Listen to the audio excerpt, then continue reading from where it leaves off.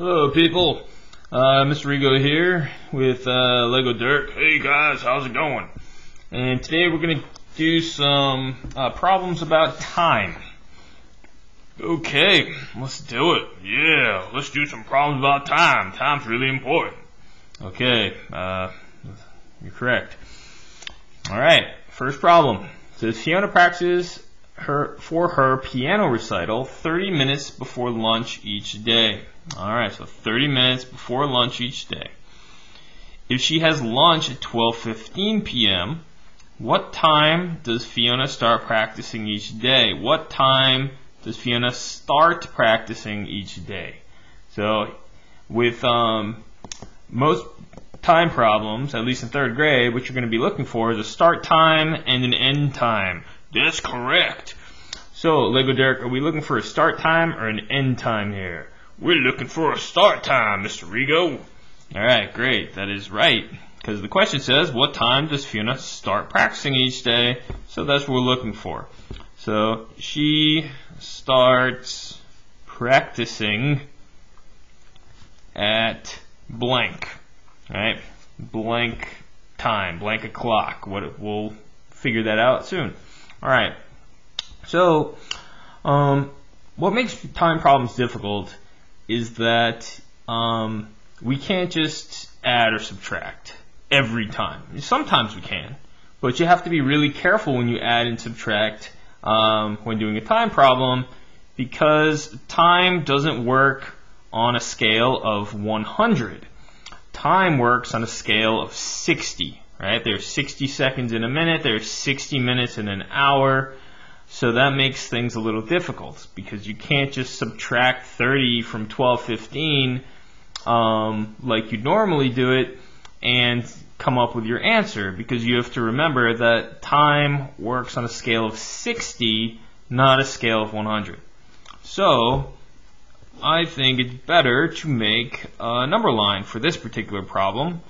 So I will label 1215 as, whoops, 12:15 as my end time. This is what we know. We know the end time is 12:15. We're looking for the start time, right?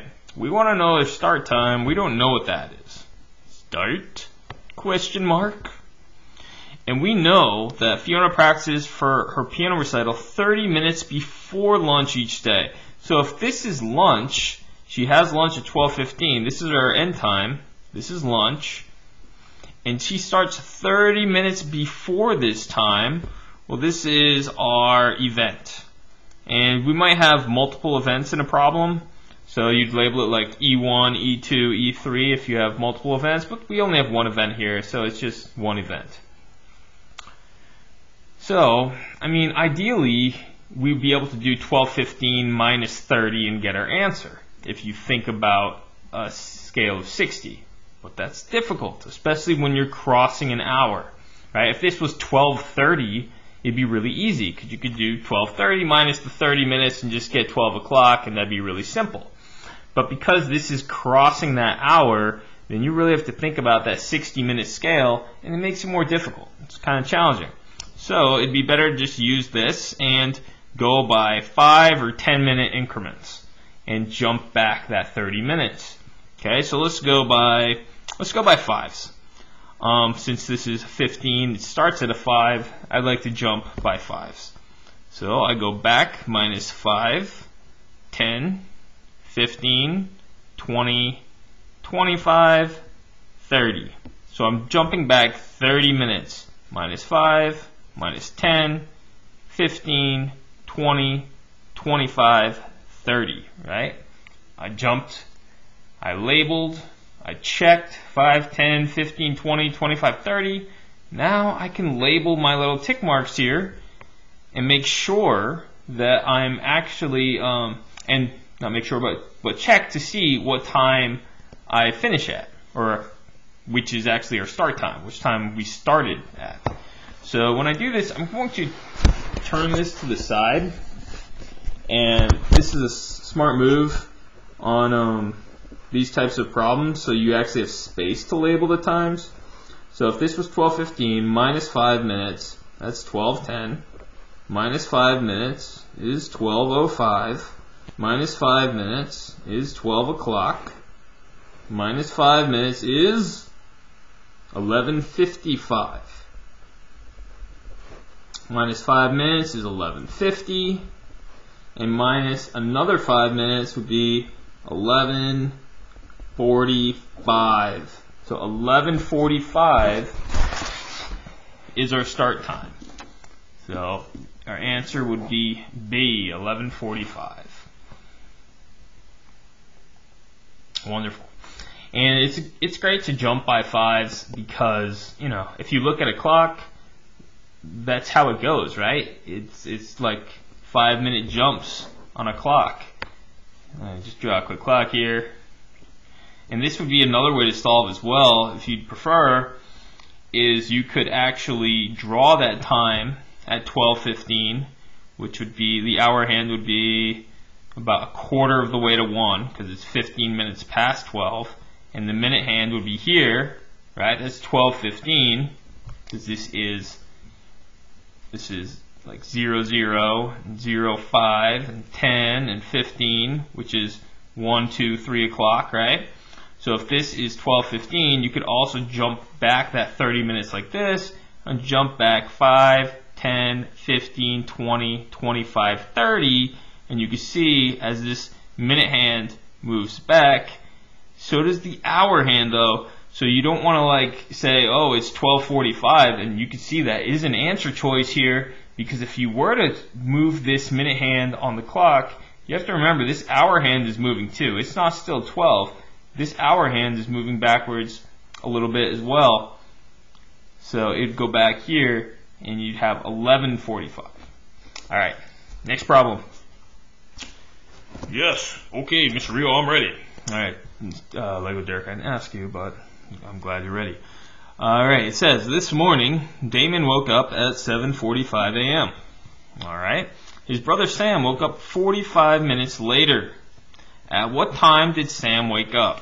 What time did Sam wake up? What time did Sam wake up? What time did Sam wake up? So Sam woke up at blank. It tells us what time Damon woke up. Sam woke up 45 minutes later. So that's after this time. So this time we're not going back and looking at a start time. This time we're moving forward. We're looking at an end time. Okay? So our start time is at 745. So again, I'm going to make a number line here. And this is 745 is our start time. That's when Damon woke up. And then Sam woke up 45 minutes later. So we're looking for the end time, which happens to be when Sam woke up. So again, we can count by fives and add that 45 minutes and, and label the times just like we did before, double check. So 45 minutes later. 5, 10, 15, 20, 25, 30, 35, 40, 45. And let's check. So this time we're not subtracting 5, we're adding 5s. 5, 10, 15, 20, 25, 30, 35, 40, 45. Okay, so now let's let's check to see what those times would be. So again, I turn it to the side and I start labeling my time. So if this is 745, here we have 750, then 755, and then 8 o'clock. Remember, because every 60 minutes, next hour. So this wouldn't be 760, right? goes to 8 o'clock. 8.05, 8.10, 8.15, 8.20, 8.25, and finally 8.30. Alright, so that would be our end time, which is when Brother Sam wakes up at 8.30 a.m. Okay, let's see. What would it look like if we did try to add this, right? if we did try to add this, which, you know, I don't particularly advise, because again, this is crossing an hour, but if you did, this is what you'd end up with, right? 745 plus 45 minutes. Hmm. 5 plus 5 is 10. 1 plus 4 is 5. Plus 4 is 9. You'd end up with 790. Does that make any sense? No. But then you can think about it, okay? Like if even if you do this, you can still like this is obviously is not your answer, but you can look at this and figure out how you can find your answer. Well, 790, you know, that doesn't work because we're on a 60 minute scale when we're talking about minutes in an hour. So, let's take away 60 of these minutes to make an hour. So you could subtract 60 of those minutes and you get 30, and that 60 should go over here, right? Because you took those 60 minutes away and you made an hour with those 60 minutes. So you could you could add it together like that, but then you have to do that extra step where you convert these 90 minutes until into uh, one hour and 30 minutes. So you have to add one hour over here to make that 8 o'clock, and then you still have 30 minutes left. All right, so you could do the addition, but you have to really be careful and remember that it is a 60 minute scale right? So again, I really recommend using the number line. It's the most careful way to do it. Let's do one more, Lego Derek. Yeah, good idea. All right, we're gonna do this last one at the bottom, number 10. It says, Dante's paddleboarding lesson began at 2.35 p.m. His lesson lasted 45 minutes. At what time did Dante's lesson end? what time did it end? What time did it end? Right? So it ended at blank.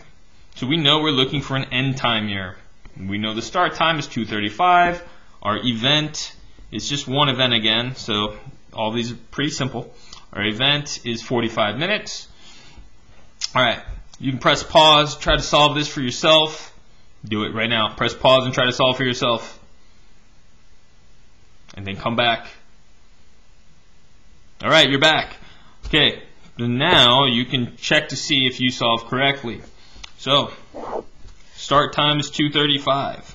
So you can label it 2.35. This is our start time.